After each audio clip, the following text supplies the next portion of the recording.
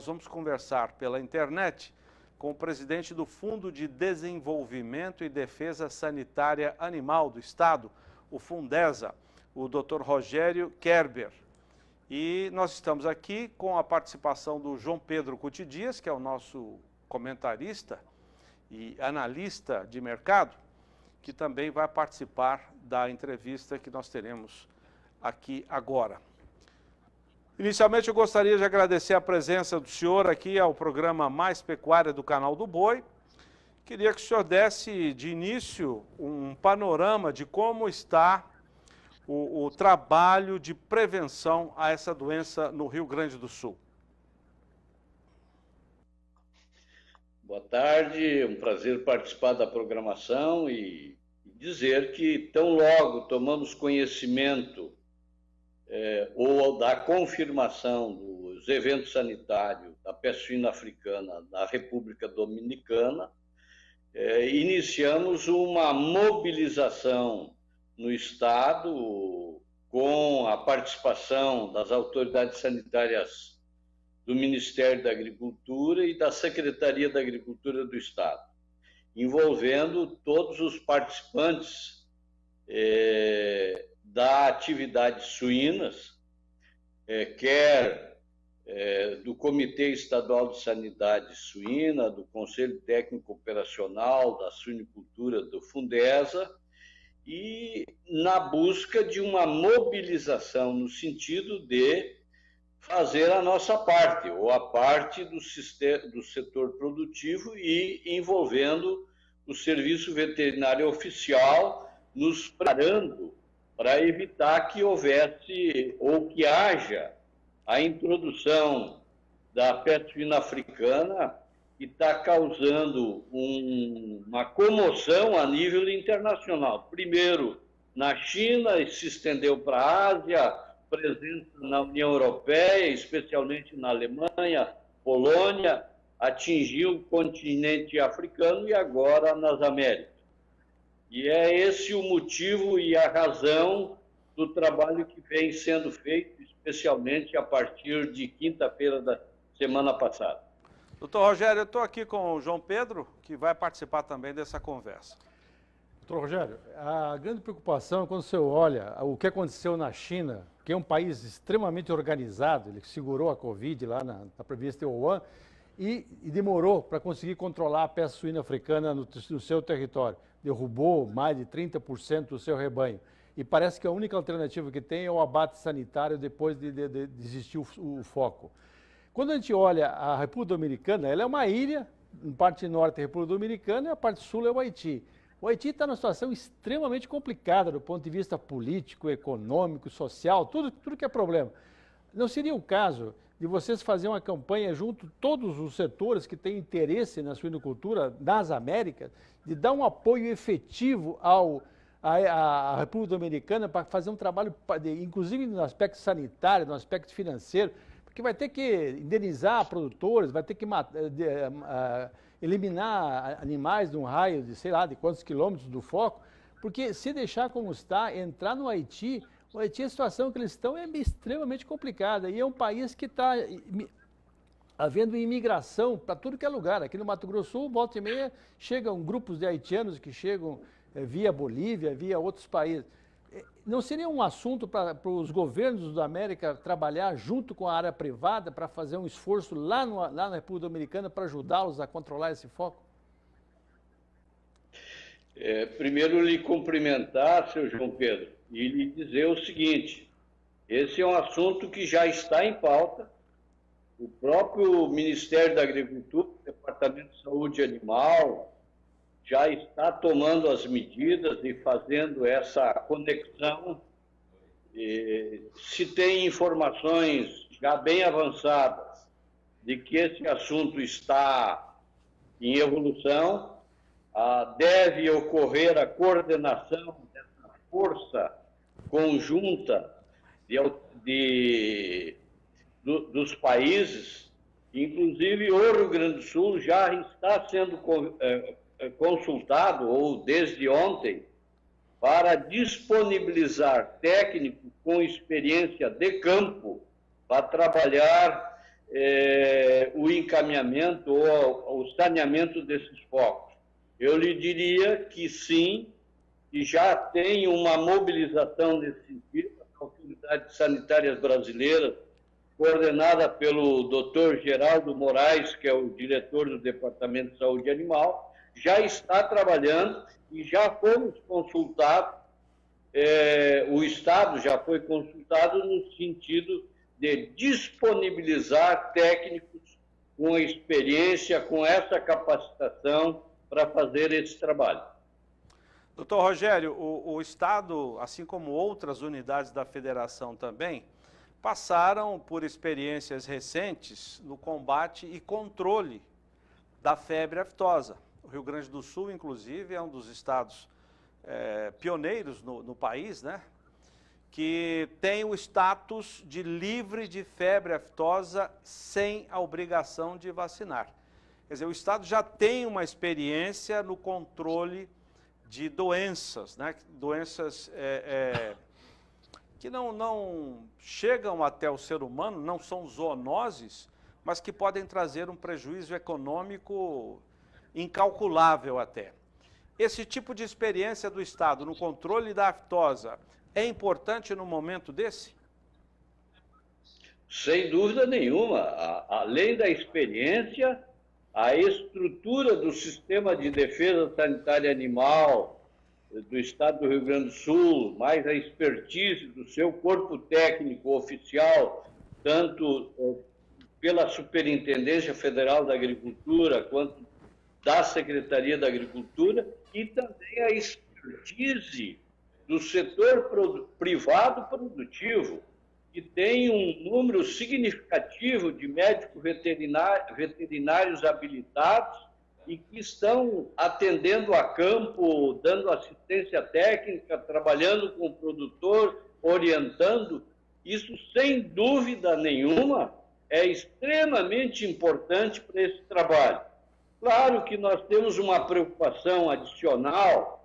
A região sul do Brasil, Paraná, Santa Catarina, tem uma expertise bastante significativa, pois representa mais de 70% da produção de, eh, de suíno do país.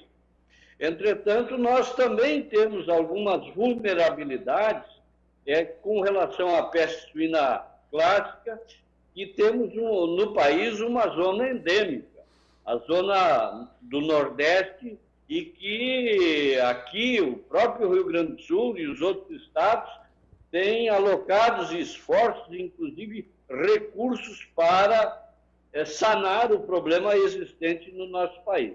Nós estamos é, convencidos que temos condições de contribuir, já estamos contribuindo, já estamos mobilizados, estamos fazendo reuniões, a, a BPA, Associação Brasileira de Proteína Animal, a BCS, são entidades nacionais que também estão capitaneando esse processo na busca de manter o, o país livre da, da peste suína africana que infelizmente chegou às Américas. Doutor Rogério, a, aqui no, no Centro-Oeste hoje nós temos um problema sério, que é o javali. Você teve a multiplicação absurda desses animais nas fazendas aqui do estado. E não há predador para ele. Eu creio que no sul também acho que deve ter chegado esse problema.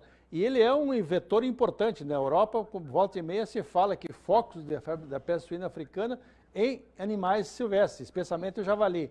Vocês estão encarando também essa, esse problema aí?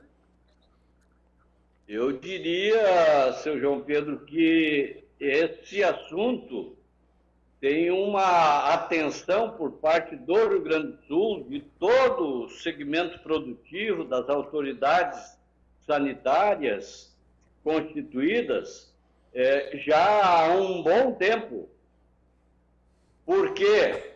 Porque nós temos uma proximidade com o Uruguai, é, o Uruguai tem registro da ocorrência da PIRS, que é da Síndrome Respiratória Reprodutiva dos Suínos, e que não existe, até o presente momento, detecção dessa doença no rebanho de suíno brasileiro, e nem no Rio Grande do Sul. O Fundesa vem fazendo, junto com as autoridades sanitárias do Rio Grande do Sul, dado uma atenção muito grande, alocando recursos para fazer o monitoramento e acompanhamento.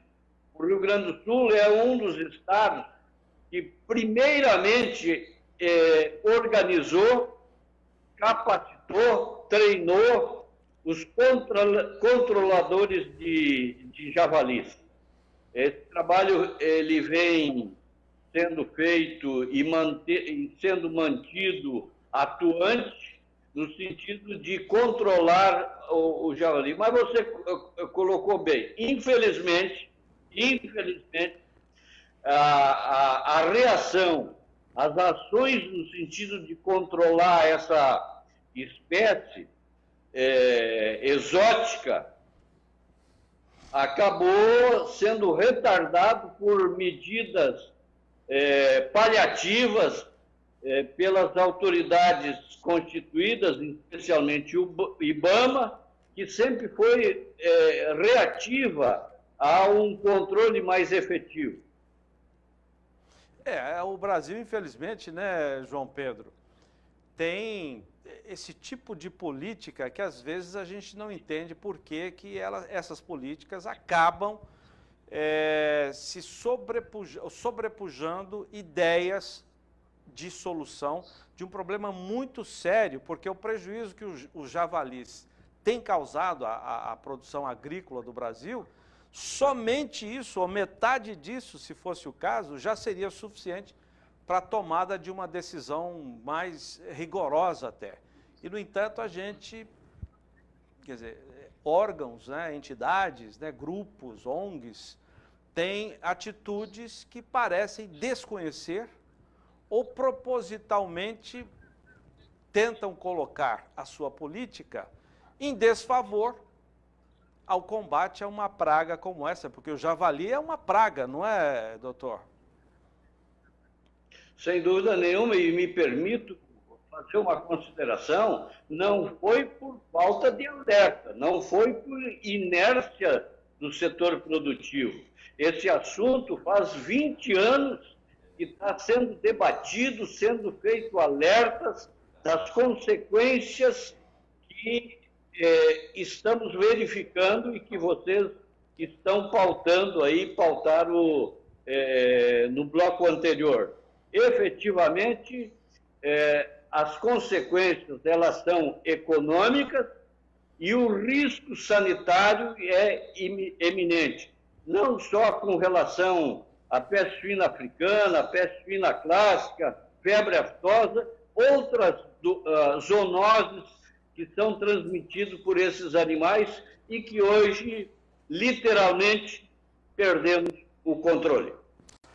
Doutor Rogério, a questão na, na China provocou uma mudança de, do modelo de produção do, do chinês. Ele produzia aquele suíno de fundo de quintal com o resto de alimento. Hoje está numa produção industrial, praticamente, aparentemente diminuiu bastante isso. No sul do Brasil há uma cultura nas fazendas de ter um porquinho. Isso, como é que vocês veem essa questão do, desses animais que, que são criados em, em pequenos lotes, em, em, em milhares de propriedades rurais? Olha, esse é um assunto que realmente preocupa, está sob o, a atenção das autoridades sanitárias, inclusive dos setores de produção. O Fundesa tem uma participação e uma preocupação muito grande. Há um monitoramento, mas eu diria que esse tipo de produção, ou é, é, essa parcela de produção, também vem sofrendo ou vem regredindo porque as exigibilidades, as regras sanitárias colocam essa produção também no radar, também sob controle, e isso vem fazendo com que essa produção, ano a ano, vem é, diminuindo é, de tamanho ou de intensidade. Mudar um pouco o foco, doutor Rogério, vamos falar da recente conquista do Rio Grande do Sul do status de livre de febre aftosa sem a obrigação de vacinar. Que tipo de impacto positivo até agora o Estado já teve após essa decisão? Bem, é difícil de dimensionar esse, o, o impacto imediato, até porque é, são tratativas e o Brasil tem que apresentar ao mercado internacional esses estados que agora têm essa é, status diferenciado, que é o Rio Grande do Sul, Paraná, Rondônia, Acre, alguns municípios do Mato Grosso e outros do Amazonas. Isso leva um certo tempo, nós não temos a pretensão de dizer que já temos resultados positivos. A realidade que os setores de produção, e eu diria que especialmente a suinicultura é um exemplo, é o, o exemplo mais concreto, já estava preparada, já está mobilizada, já está, por iniciativa própria, se apresentando aos mercados, é, levando o, o, o certificado já traduzido para o japonês, para o chinês, para o coreano, em espanhol, no sentido de já ir se apresentando. E é evidente que isso tem um determinado tempo de busca de contato, e contato com importadores, com autoridades sanitárias, mas nós temos a convicção de que vamos alcançar sim resultados em razão dessa nova condição para a produção do Rio Grande do Sul. Não se limita somente à suinicultura, é a apresentação da proteína animal produzida no estado do Rio Grande do Sul, que sem dúvida nenhuma vai ter acesso aos principais mercados ou os mercados mais exigentes. Queria agradecer ao Dr. Rogério Kerber, que é presidente do Fundesa, Fundo de Desenvolvimento de Defesa Sanitária do Rio Grande do Sul. Muito obrigado pela sua participação aqui ao programa Mais Pecuária do Canal do Boi. Agradecemos a oportunidade e cumprimentamos a você e ao senhor João Predo, que participou conosco nesse bloco. João, pois é, os estados estão querendo fazer muito bem feito o seu dever de casa, né? Isso é muito importante.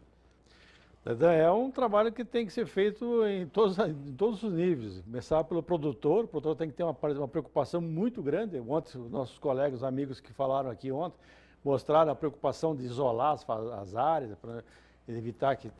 E tem que chegar em todos os setores. A Anvisa, por exemplo, que, é o, que, que faz o controle sanitário nos portos, tem que ter, nos aeroportos, portos, tem que ter um cuidado excepcional com resíduos de comida, restos de comida, que possam, porventura, chegar, porque ontem ah, foi comentado que esse vírus passa através dos alimentos, mesmo processados.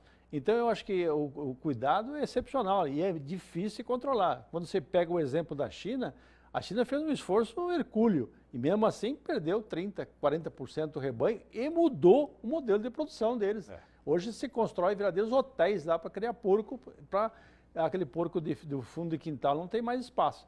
E não tem nenhum, não tem vacina, não tem nada. É um vírus complicado. É. O único resultado tem que ser o abate sanitário. E para isso tem que ter recursos até para indenizar os produtores que porventura tiverem animais a serem sacrificados.